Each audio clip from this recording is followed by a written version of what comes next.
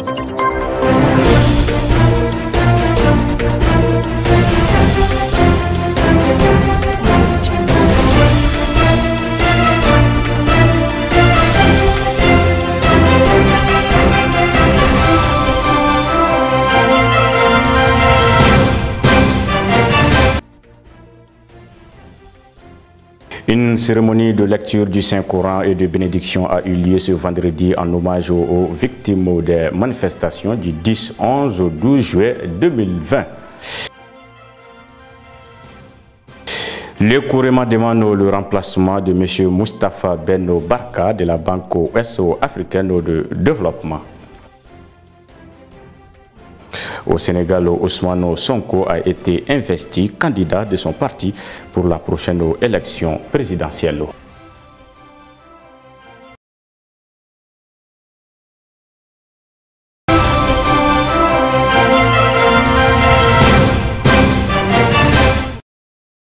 Madame et Messieurs, très heureux de vous retrouver une fois de plus dans cette édition de 19h de Nyata TV.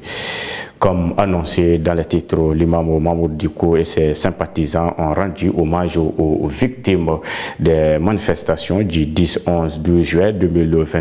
Ils ont organisé une cérémonie de lecture du Saint-Coran et de bénédiction en leur mémoire à la mosquée Salam de Badalabougou, trois ans après leur décès lors des affrontements contre le pouvoir de l'ancien président Ibrahim Boubacar Keita, Abdou Ouattara et Salif Niari. Hier 14 juillet, après la prière du vendredi, l'imam Mahmoud Diko a participé à la traditionnelle commémoration de la disparition des victimes du 10, 11, 12 juillet 2020. L'objectif est de faire des bénédictions pour ces jeunes tombés lors des manifestations contre le régime du défunt président malien Ibrahim Bouakar Keïta. Après les prières, les autorités ont été interpellées à mettre ces victimes dans leurs droits. À l'endroit des autorités habilitées à remettre ces gens-là dans leurs droits, le message est que tout le monde doit savoir que non, ces gens-là, vraiment, il faut qu'on regarde leur cas. Il faut qu'on regarde leur cas. Ils méritent d'être indemnisés. Ils méritent d'être indemnisés, même si c'est l'État qui doit être condamné à la fin. Puisque ce sont les fonctionnaires de l'État qui ont commis cet acte. Et le Premier ministre qui est là actuellement a eu même à dire que non, on n'a pas besoin de plus de 4 mois pour connaître ces commanditaires. Donc le message qui est là, c'est de dire aussi aux victimes et les collectifs qui les soutiennent. Tout le monde, à son niveau, a fait de son mieux. Mais ce qu'on a à leur dire comme message, il faut qu'on se mette ensemble pour chercher l'air dû. Parce que parmi ceux qui étaient au niveau des comités stratégiques, il y a des juristes, il y a des anciens premiers ministres. Pourquoi ne pas se mettre ensemble pour chercher ce qu'il est, les revient de droit? Donc c'est le message qu'on a à passer ici aujourd'hui forcément, nous, nous, en tant que musulmans, croyants de l'islam, nous savons qu'un jour, ce jugement-là va être fait. Mais ce qui nous concerne entre nous ici, là, vraiment, il s'agit de voir dans quelle mesure ces gens-là doivent être établis dans leurs droits, Inch'Allah. La cérémonie s'est clôturée par la lecture de quelques versets coraniques pour leur repos éternel.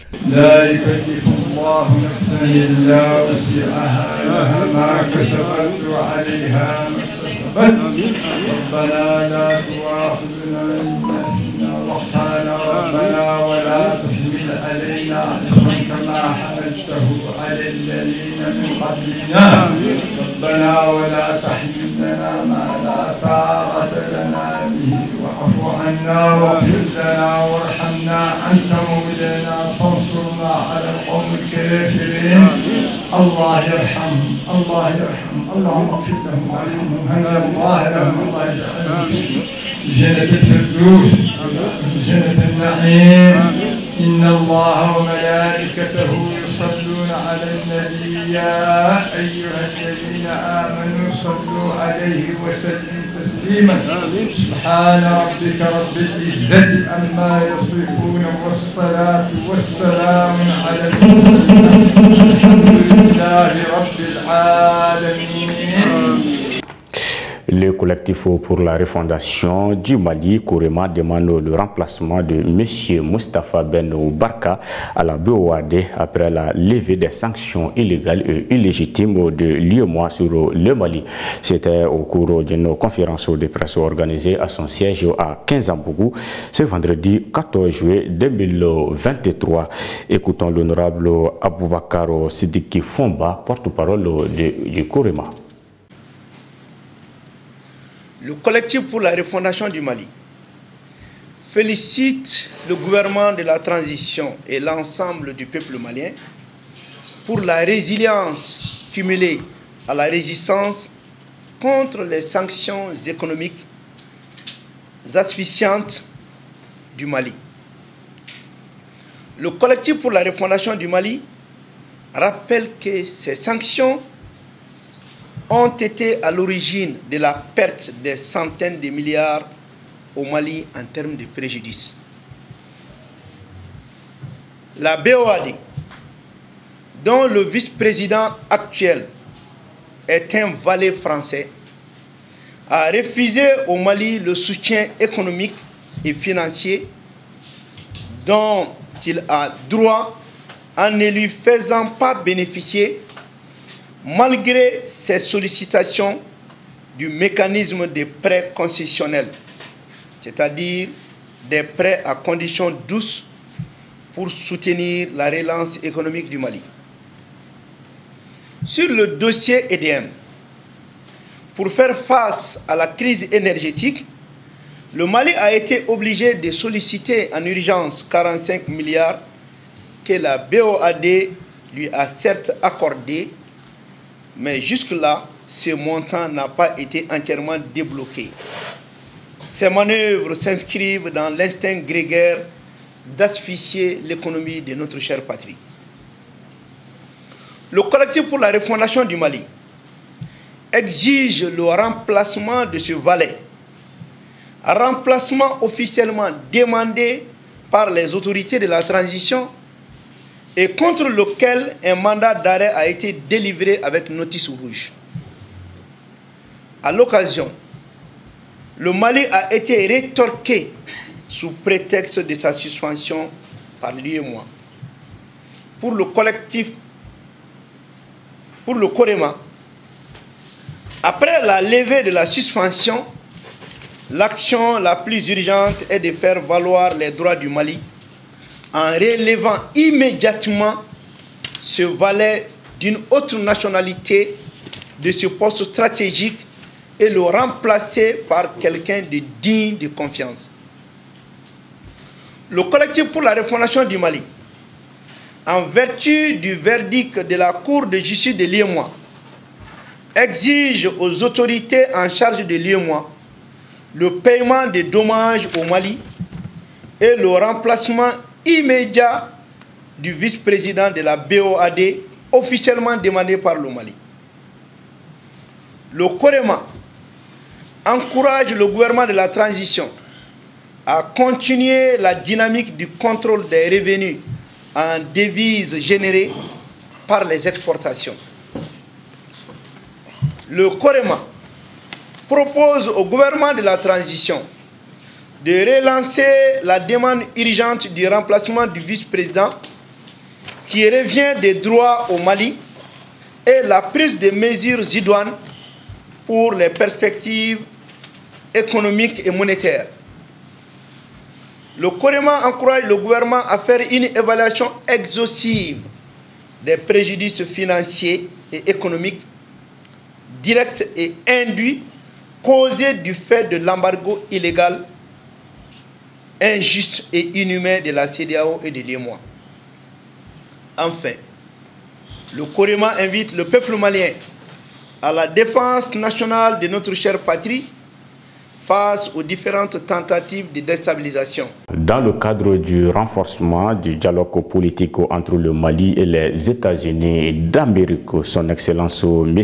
Abdoulaye Diop, ministre des Affaires étrangères et de la coopération internationale, a eu le jeudi 13 juillet 2023 un entretien téléphonique avec Mme Victoria Nila, sous-secrétaire d'État des États-Unis d'Amérique aux affaires politiques.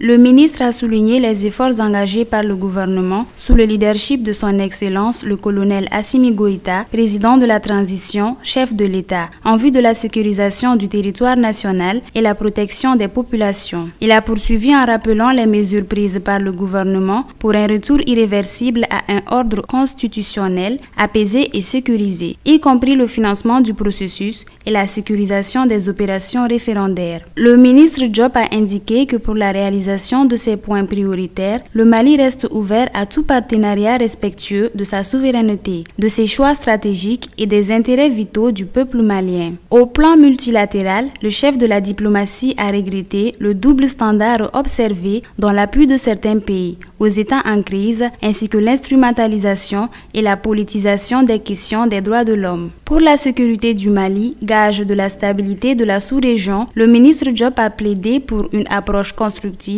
une lecture lucide, réaliste et objective de la situation de notre pays, et le maintien d'un dialogue politique franc et ouvert. Une telle démarche sincère permettrait une meilleure compréhension des défis complexes du Mali et garantirait un soutien approprié.